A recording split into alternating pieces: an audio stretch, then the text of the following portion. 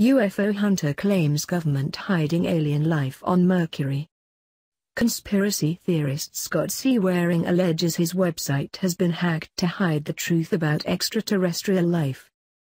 He claims it was taken offline after Google supposedly teamed up with the US government. Waring said, Some people are reporting spam warnings, others are reporting 404 errors. There is no way in hell that this will stop me from doing what I do. So, to Google and the US government, I say get the F out of my way and off my site. Waring also claims to have found alien structures on Mercury after analyzing NASA images. The grainy black and white photos show two mounds on the surface of the planet, Express.co.uk reports. He said, below are close-up structures on planet Mercury. As you see they are deep under the surface and reach above the surface.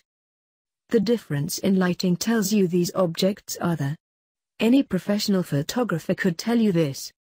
Waring previously claimed he had unearthed photos that show steps and a seashell on Mars.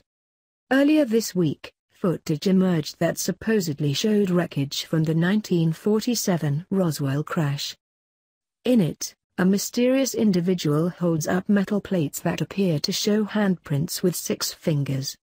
Strange symbols have also been carved into the objects. They are supposedly Greek letters that spell the word Eleutheria, meaning freedom.